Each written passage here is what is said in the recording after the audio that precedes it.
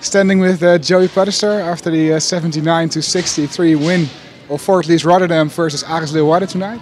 Joey, how does this uh, victory feel after those past few weeks? Weeks. Yeah, it's great. We had a bit of a losing streak there. It's great to um, get out of the rut, and it's uh, it's nice to now we can start gaining some momentum going into the playoffs. Yeah, because uh, those playoffs obviously are really important. Uh, with what kind of feeling do you leave this game today? Uh, just looking to build on it. We uh, played a lot better defensively today. Still could have done better, but we're still uh, still building on it. So it's all about getting momentum going into the playoffs now. Next game, build on it and keep riding it until the playoffs.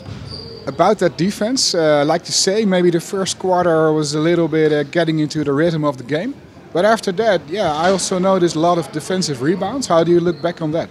Yeah, we did uh, focus a lot more on that in practice this week. More one-on-one individual, um, so we don't have to help as much. Just stopping your man one-on-one and boxing out your man one-on-one, and then the rest uh, works itself out.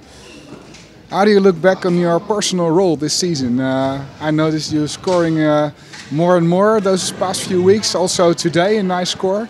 Yeah. Maybe it also helps your families here right now. yeah, yeah, uh, yeah. I'm just trying to contribute when I get in there, uh, trying to build my role just like everybody else. And um, we've got a great starting point guard. So when I get my chance, I uh, I do what I can do. But I, I'm also very happy watching him win games for us. So yeah, yeah, yeah. yeah obviously. Um, about those playoffs, they're coming, of course. Um, yeah, like I asked before, but maybe reflect on the past few weeks and trying to give us a little bit uh, an, an outlook on those playoffs. How would you describe that?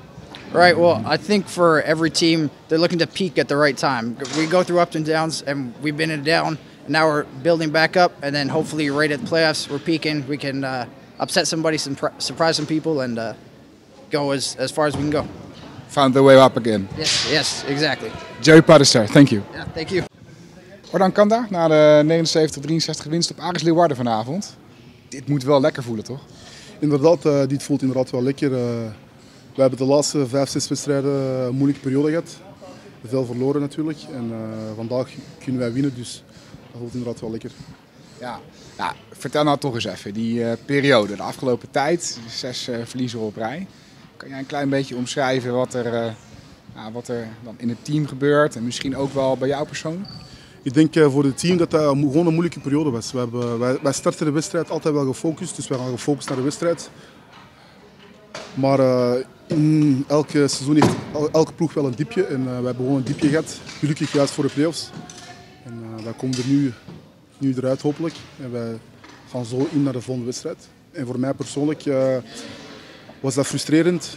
Ik had zelf ook een moeilijke periode, gewoon mijn spel en mentaal.